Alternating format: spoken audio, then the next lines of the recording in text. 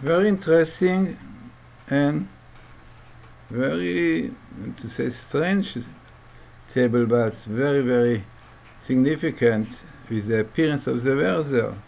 So they were looking about the end of Iran. Everyone is, not everyone, but many wish that the end case Iran will come this year already, Tafshin Ayin So this is the best meeting with Torah, the end of Iran, 5778, but definitely as an enemy of Israel, because it was a while ago that Iran loved Israel, in the time of the Shah.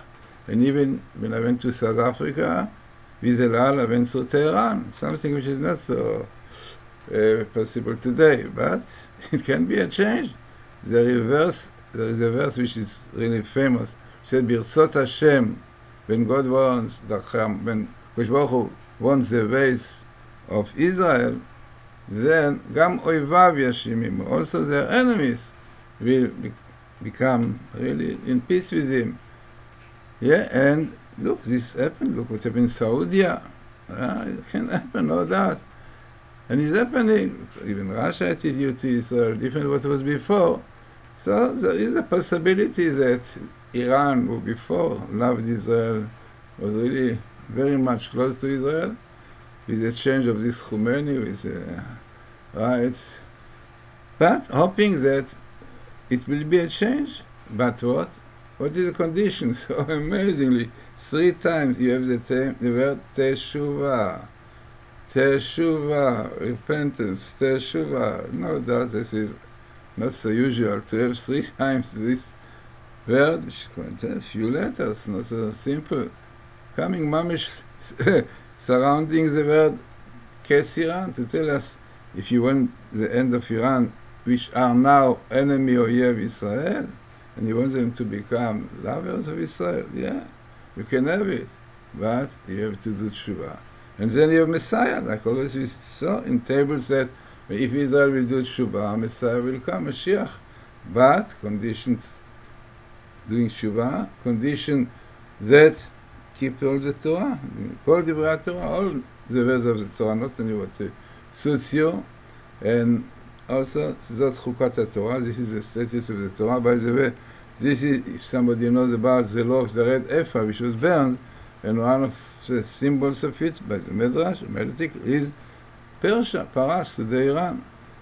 Now, also by, as we say, doing Shuvah and Iran hoping change, the if we run, the enemy of Israel will be, then we have Messiah with Elijah together will come.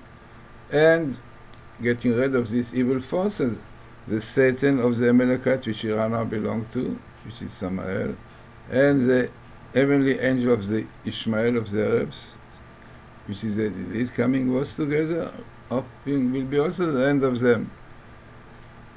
So, as we said, very, very significant, interesting table, as we see the appearance of the end of Iran, which now is the enemy of Israel, in this year, a very small skip, but condition, tshuva, repentance, tshuva, repentance, tshuva, repentance, keeping all the the Torah, no, it's difficult. Unfortunately, we don't see it yet in Israel so fully done. Still, there's a case in the Sabbath, which brings Amalekite, brings Iran against Israel, and lack of faith in God, which also bring impurities.